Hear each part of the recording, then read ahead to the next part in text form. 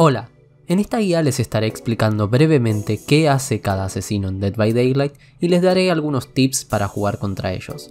Recuerden que los asesinos disponen de accesorios que algunas veces pueden modificar el funcionamiento de su poder.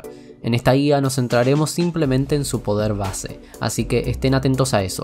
Y si les gustaría una guía explicando cada addon de cada killer, no duden en dejar un like y un comentario en este video.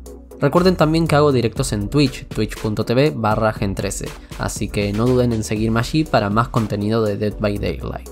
Ahora sí, comenzamos con la guía. Uno de los killers base del juego, su poder consiste en colocar trampas para osos en el mapa, las cuales al ser pisadas por los supervivientes hace que queden atrapados allí hasta poder liberarse por su cuenta o que nos libere alguien. Este asesino idealmente colocará las trampas escondidas entre la hierba o en lugares donde no podamos verlas, así como también en estructuras que nos ayuden a escapar del asesino, como ventanas o palets.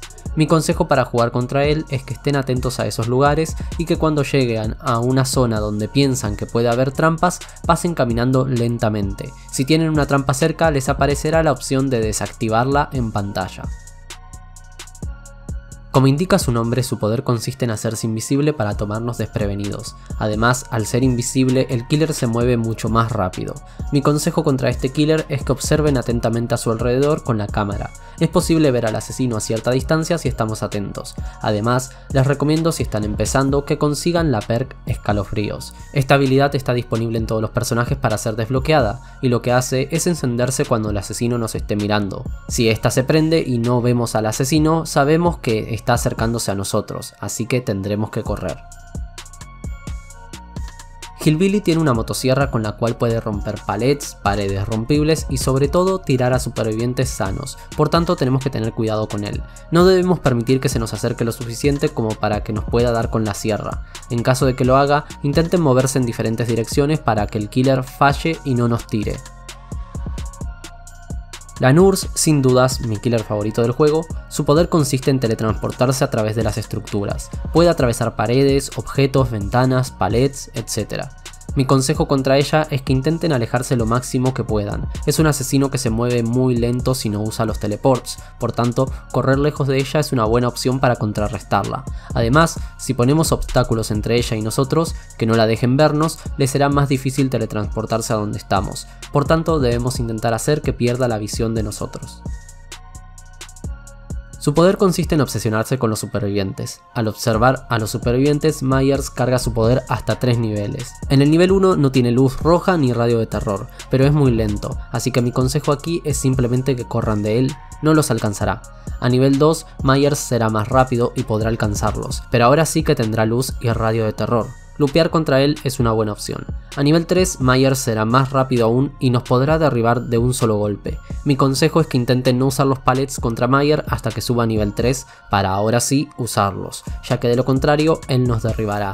Recuerden que para subir de nivel Myers tiene que obsesionarse mirando a los supervivientes, así que si evitamos que el asesino nos vea, le dificultaremos mucho su trabajo. Su poder consiste en colocar unas marcas en el suelo, que al ser pisadas por los supervivientes harán aparecer una copia de la bruja. Luego de eso, el asesino tendrá la posibilidad de teletransportarse a esa copia. Mi consejo contra ella es que estén atentos, al igual que con el trampero, a las trampas. Seguramente las colocará en zonas por las que ustedes vayan a pasar, así que tengan cuidado en esos lugares en particular. Si pasamos por encima de una trampa agachados, esta no se activará. Además, es posible quitar las trampas de la bruja quemándolas con una linterna. Su poder consiste en causarnos locura. Para esto, el doctor puede lanzar unos rayos que subirán el nivel de la locura de los supervivientes, o también puede liberar una explosión a su alrededor que subirá la locura de todos los supervivientes cercanos. Los efectos de la locura pueden hacer que veamos copias falsas del doctor o que veamos palets donde no hay. Además, si el doctor nos impacta con su rayo no podremos saltar ventanas, tirar palets, etc., lo cual puede hacer que él nos atrape fácilmente. Para contrarrestar los rayos del doctor, lo mejor que pueden hacer es no quedarse en las ventanas o palets si ya les pegó con el rayo. Sigan corriendo y traten de ganarle distancia. Su poder consiste en arrojar destrales, estos pueden golpearnos desde mucha distancia y por supuesto, si nos dan con dos, derribarnos. Mi consejo contra ella es que intenten cubrirse con estructuras, además de lupearla en estructuras altas, ya que si lo hacemos en estructuras bajas, la cazadora podrá darnos con los destrales desde el otro lado. Leatherface tiene un poder muy similar a Hillbilly, teniendo una motosierra que le permite romper palets, paredes y por supuesto tirar a los supervivientes sanos. La diferencia entre Bubba y Billy es que la sierra de Billy solo puede tirar a un superviviente a la vez, mientras que la de Bubba puede derribar a varios supervivientes. Mi consejo contra Buba es que intenten lupear pegados a las estructuras, de esta forma podrán hacer que el killer se choque contra ellas, y de esa manera evitar que los tire. Una vez que hagan que falle la sierra, intenten alejarse lo máximo posible.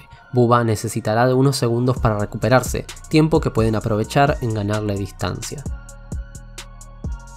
El poder de Freddy hace que nos durmamos, metiéndonos en el mundo de los sueños. Allí no podremos escuchar el radio de terror de Freddy, aunque podremos saber que está cerca de nosotros por su canción. Además, su poder tiene una segunda parte con dos variantes, una en la que coloca trampas que nos ralentizan y otra en la que coloca palets falsos. Para la primera tendremos que intentar evitar las trampas e irlas desactivando para nuestros compañeros cuando podamos, mientras que para la segunda tendremos que estar atentos a los palets que son falsos. Tendremos que ir memorizando cuando estemos despiertos donde no había palets para no caer en la trampa de dirigirnos a un lugar donde en realidad no había nada. Su poder tiene dos partes. La primera consiste en que la cerda puede agacharse y así no tener radio de terror, además de que puede hacer una estocada recorriendo una distancia bastante grande muy rápidamente. La segunda parte consiste en colocarnos unas máscaras con un contador. Cuando un motor se repare, se activará el contador y si este llega a cero, moriremos. Mi consejo es que intenten quitarse la máscara cuanto antes, además de que si el killer se agacha y no tiene radio de terror, recuerden que llevar la perk escalofríos es una gran forma de contrarrestar su poder. Un tip, si su máscara no está activada pueden escaparse por la puerta de salida, en caso contrario no podrán hacerlo ya que la máscara los matará. En caso de que tengan la máscara activa y no puedan quitársela, su única opción para escapar es por la trampilla. Su poder consiste en lanzar unas botellas que contienen un tónico o un veneno que se esparce en forma de nube de gas en el mapa. El veneno es violeta y lo que hace es ralentizarnos, mientras que el tónico es naranja y lo que hace es darnos velocidad de movimiento. Mi consejo es que intenten evitar que el payaso les dé con el gas. En caso de que esto pase, intenten no desesperarse. Es importante observar qué hace el payaso para no tirar un palet del lado incorrecto, por ejemplo. El poder de este asesino consiste en moverse muy rápido por un plano en el cual no podemos verla. Ella tampoco puede vernos a nosotros, pero puede ver las marcas que dejemos al correr, además de escucharnos. Mi consejo contra ella es que usen perks como voluntad de hierro, que evitará que hagan ruido al estar heridos. Además, como consejo les recomiendo que cuando la Spirit use su poder, dejen de correr para no dejarle marcas, y también volverse sobre sus pasos para confundirla. Su poder consiste en entrar en un estado de frenesí con el cual puede moverse muy rápido, además de saltar ventanas y palets, como si fuera un superviviente. Al golpearnos con el frenesí activado nos dará el estado de herida profunda, el cual tendremos que sanarnos antes de poder curarnos. El poder de Legión revela la ubicación de los supervivientes, así que no sirve escondernos. Mi consejo es que corran cuando vean que el frenesí está activado. Intenten ganar la mayor distancia posible y tengan cuidado con tirar los pallets, ya que si no estuneamos a la Legión, esta podrá saltar el palet y darnos el golpe. Su poder consiste en infectarnos. Al vomitarnos encima nos puede llegar a enfermar. Si estamos enfermos no podremos curarnos e iremos tosiendo y haciendo ruido por todo el mapa. La plaga también puede infectar objetos, taquillas, tótems, palets, motores, etc. Si tocamos algo infectado, nos podemos enfermar también.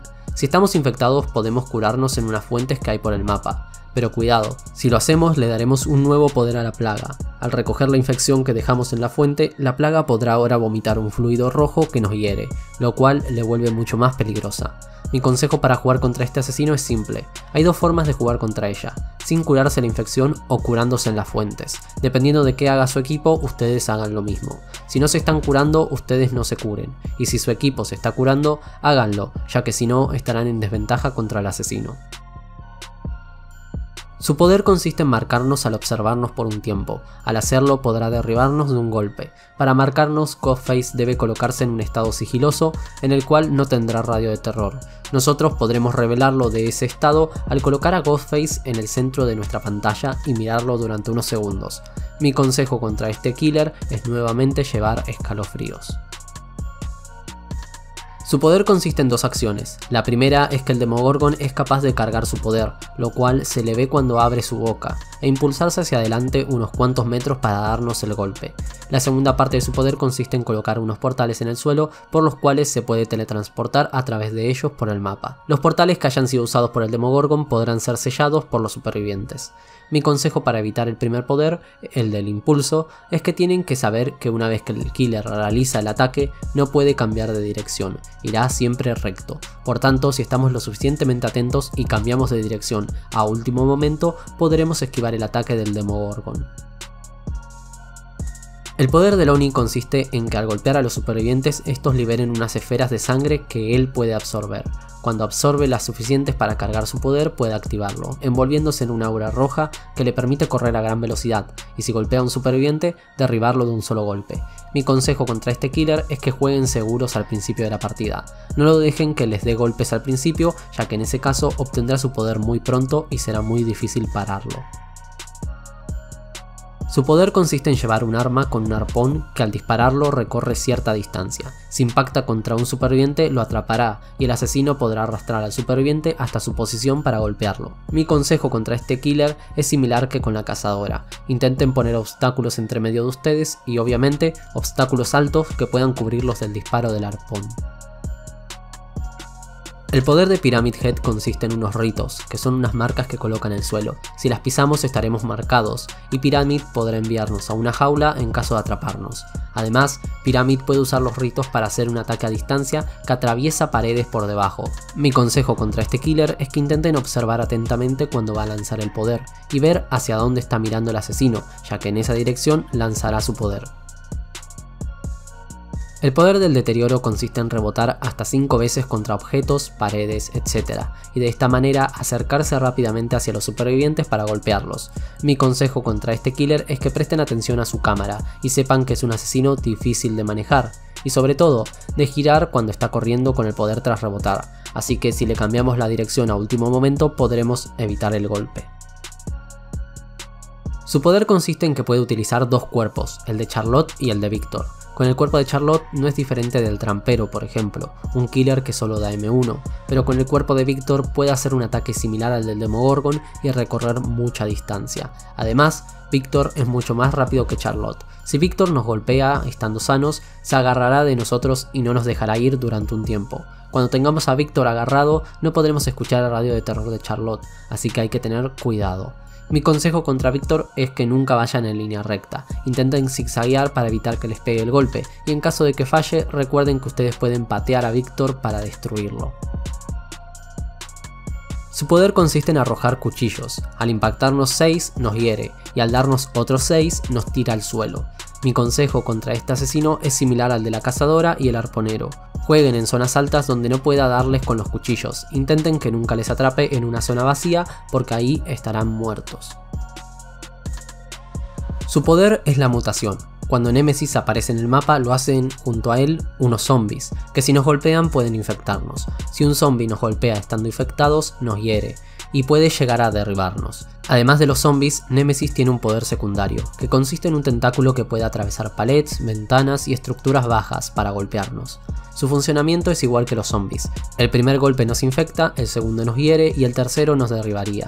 Además, el tentáculo tiene tres niveles. En el primero su alcance es bajo, en el segundo aumenta su alcance y le permite a Nemesis romper palets. En el tercer nivel tiene mucho más alcance y puede romper palets. Para subir de nivel Nemesis necesita infectar gente o matar zombies. Mi consejo contra este killer es que intenten que no les infecte. Si Nemesis se acerca lo suficiente a ustedes y les quiere pegar con el tentáculo, intenten amagarles para que falle.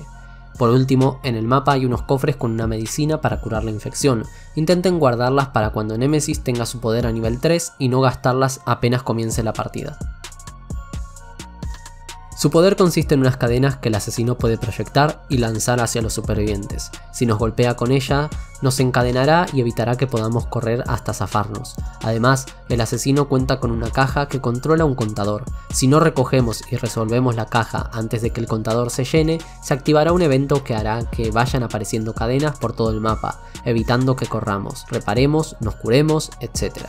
Mi consejo contra este asesino es que intenten siempre resolver la caja antes de que el contador se llene. Además, cuando el asesino use la cadena para atraparlos, intenten moverse en varias direcciones, para así provocar que falle darles con la cadena y que pierda tiempo. El poder del artista consiste en invocar una serie de cuervos que hacen de proyectiles.